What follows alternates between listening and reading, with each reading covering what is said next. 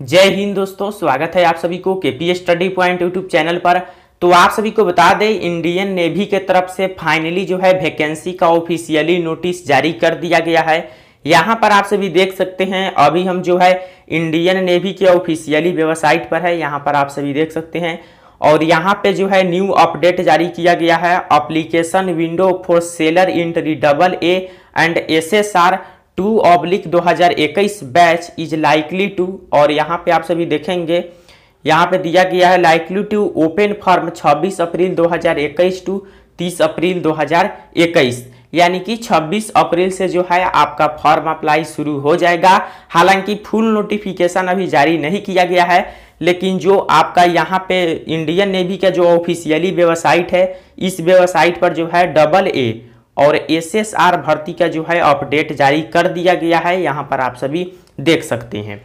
और ये जो है 26 अप्रैल से आपका फॉर्म जो है अप्लाई शुरू हो जाएगा और 25 अप्रैल तक जो है इसका नोटिफिकेशन जारी कर दिया जाएगा फुल नोटिफिकेशन तो ये जो अपडेट है, आज जारी किया गया है और आप सभी को बता दें कि काफ़ी दिनों के बाद ये वैकेंसी आया है। जैसे कि आपको पता है 2020 में दो भर्ती जो है कैंसिल हो चुका है। 2020 में जो है दो भर्ती था जो एक जून, जुलाई का और एक नवंबर मंथ का।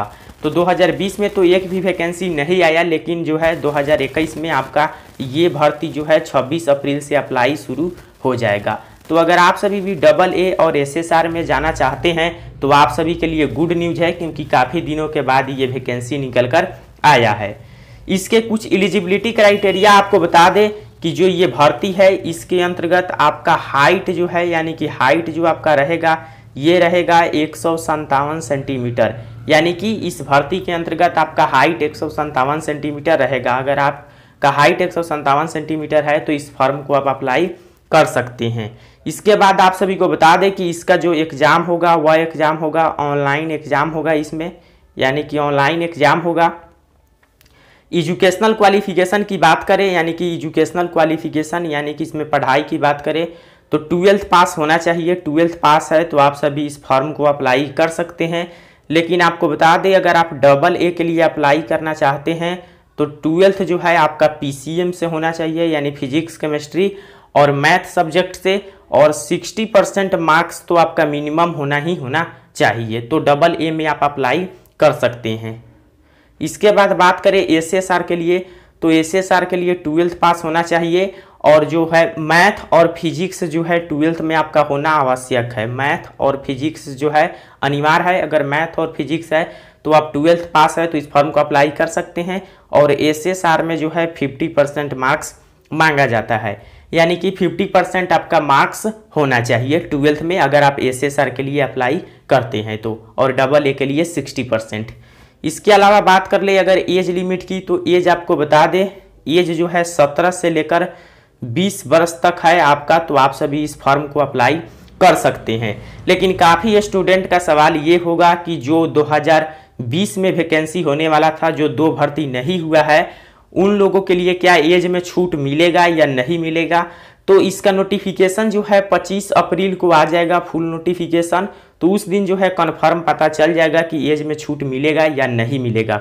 लेकिन एज में जो है आपका छूट मिलने की संभावना है, यानी कि छूट मिल सकता है क्योंकि दो भर्ती जो है पहले कैंसिल हो चुका है। और उस दो भर्ती का जो है लगभग एक साल या छः मंथ का एज में छूट आपको दिया जाएगा। तो एज में छूट ज़रूर मिलेगा, लेकिन कन्फर्म अभी नहीं बता सकते हैं, क्योंकि अभी फुल नोटिफिकेशन नहीं आया है।